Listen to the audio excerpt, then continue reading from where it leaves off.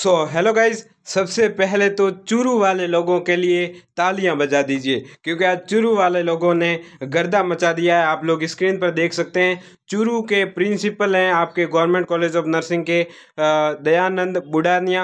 इन्होंने आपके भास्कर चूरू में न्यूज़ छपवाई है, बहुत ही बड़ी बात है। ऐसे ही अगर आप लोग कैंपेन चलाते रहे ना तो काउंसलिंग जल्दी शुरू होगी और ये प्रोसेस भी जल्द ही कंप्लीट हो जाएगा। सो फाइनली चूरू वाले लोगों के लिए आप लोग एक बार चूरू जिंदाबाद कमेंट में लिख दीजिए इन्होंने क्या आ, कुछ न्यूज़ छपाई है मैं आपको पढ़ के सुनाता हूँ। आपके बीएससी नर्सिंग काउंसलिंग से रिलेटेड इन्होंने क्या कुछ छपवाया है अपने भास्कर में? प्रदेश में पचास हज़ार अभ्यर्थियों को कॉलेज में प्रवेश का इंतज़ार। बीएससी नर्सिंग रिज़ल्ट के एक माह बाद, एक माह नहीं, दो माह बाद भी नहीं हुई काउंसलिंग ज़िले के 2000 अभ्यर्थी परेशान। सो 2000 आपके चूरू ज़िले के अभ्यर्थी हैं जो काउंसलिंग का इंतज़ार कर रहे हैं। ये चूरू के प्राचार्य, राजकीय नर्सिंग कॉलेज के प्राचार्य हैं दयानंद बुडानिया। इन्होंने ये न्यूज़ छुपाई है। बहुत ही बड़ी आपके लिए गुड न्यूज़ है। कॉलेज वाले आपका इंतज़ार कर रहे हैं, आपका वेलकम करने के लिए इंतज़ार कर रहे हैं। लेकिन आरयूएचएस है, जो आपके काउंसलिंग स्टार्ट नहीं करवा रहा है। बाकी कॉलेज वालों की ओर से कोई किसी भी प्रकार की कमी नहीं रखी जा रही है। और वो तो पढ़ाने के लिए उत्सुक है। और अब आगे क्या क्या लिखा है, मैं आपको पढ़ के सुनाता हूँ। Rajasthan university of health science RUHS की ओर से बीएससी नर्सिंग की परीक्षा करवाए। दो महीने बीत गए हैं। आप लोग भी जानते हैं, ग्यारह अगस्त को एग्ज़ाम हुआ था। लेकिन अभी तक काउंसलिंग प्रक्रिया शुरू नहीं हुई है। शुरू तो छोड़ो, अभी तक किसी भी प्रकार का नोटिफिकेशन वेबसाइट पर यूनिवर्सिटी ने डाला नहीं है। इस कारण ज़िले के करीब दो हज़ार अभ्यर्थियों का कॉलेज में एडमिशन नहीं हुआ है। आपके चूरू ज़िले के दो हज़ार अभ्यर्थियों की बात हो रही है। यहाँ पे वही प्रदेश भर के करीब, राजस्थान के करीब पचास हज़ार अभ्यर्थियों का एडमिशन अटका हुआ है।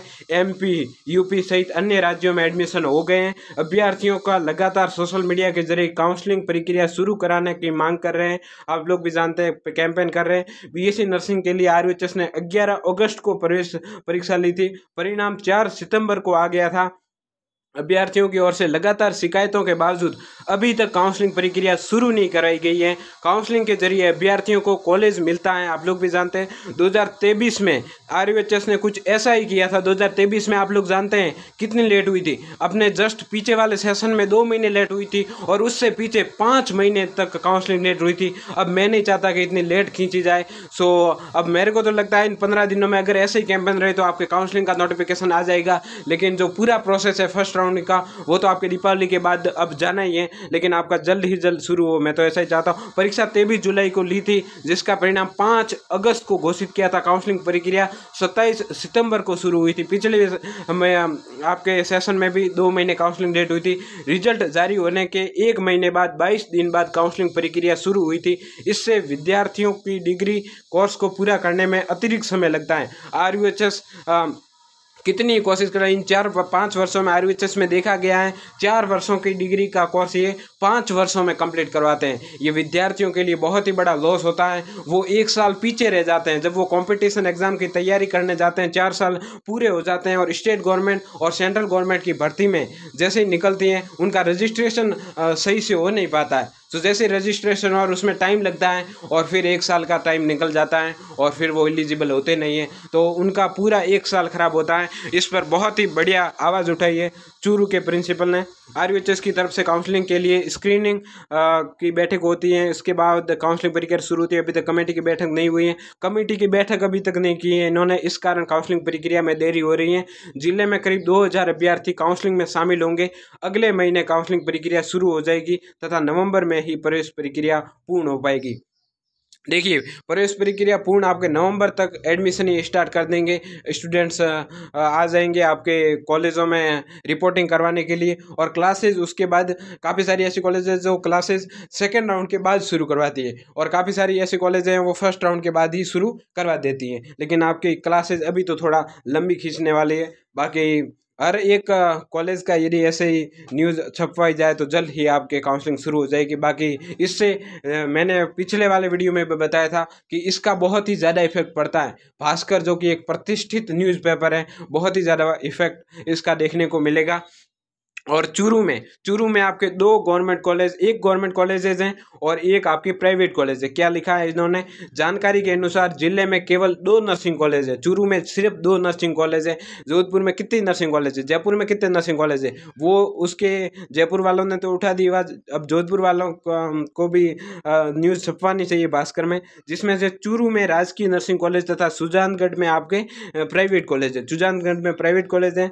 और जो आपके चूरू का मेन गवर्नमेंट कॉलेज है, उसमें साठ सीटें हैं। और जो सुजानगढ़ का कॉलेज है प्राइवेट कॉलेज उसमें पचास सीटें हैं। सो ज़िले के करीब दो हज़ार विद्यार्थियों को काउंसलिंग का इंतज़ार है। और आप सभी लोग डिस्क्रिप्शन में दिए गए व्हाट्सएप ग्रुप के लिंक के माध्यम से हमसे जुड़ जाइए। आप लोगों को B BSc nursing first year के नोट्स प्रोवाइड करवा दिए जाएँगे। आप लोग अब बिल्कुल भी फ्री मत बैठिए। आप लोगों के पास टाइम है, इस टाइम का सदुपयोग सदुपयोग कीजिए। टाइम अभी ये आपका ऐसा है, इसको गंवाना नहीं है। इस टाइम को भुनाओ और इस मौके को भुनाओ। आप सभी लोग जो हिंदी मीडियम के स्टूडेंट्स हैं, वो इंग्लिश पढ़ने की प्रैक्टिस करो इंग्लिश में लिखने का प्रयास करो आंसर राइटिंग प्रयास करो।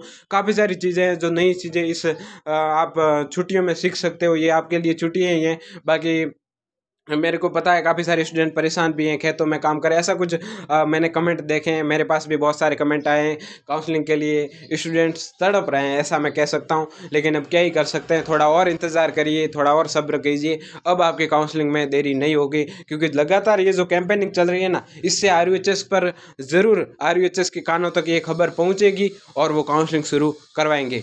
अब ऐसे ही अपडेट आते रहेंगे तो आप लोगों के सामने ये नर्सिंग फैमिली सबसे पहले अपडेट पहुंचाएगी। और काफ़ी सारी ऐसे मैंने देखे हैं, वो कमेंट कर कि आप तो कॉपी वगैरह। सो देखिए, हमारा वीडियो सबसे यूनिक होता है। नर्सिंग फैमिली पर जो इतना एनालिसिस आपको दूसरे किसी भी चैनल पर देखने को नहीं मिलेगा।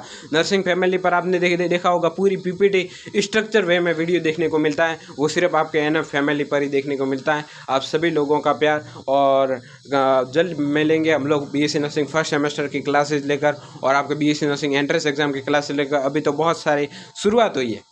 2000 लोगों का फैमिली इस वीडियो के माध्यम से कंप्लीट होनी चाहिए, ये आपको टारगेट दे रहा हूँ और हो गई होगी, मैं जानता हूँ आप सभी लोगों को। So guys thanks for watching please do the subscribe button press the bell icon for the notification thank you और काउंसलिंग किस प्रकार से करनी है, ये वीडियो आपको शाम को मिल जाएगी। अब मिलते हैं किसी नए धमाकेदार अपडेट के साथ। बाकी चूरू वालों के लिए एक बार और मैं उनको अप्रिशिएट करता हूँ।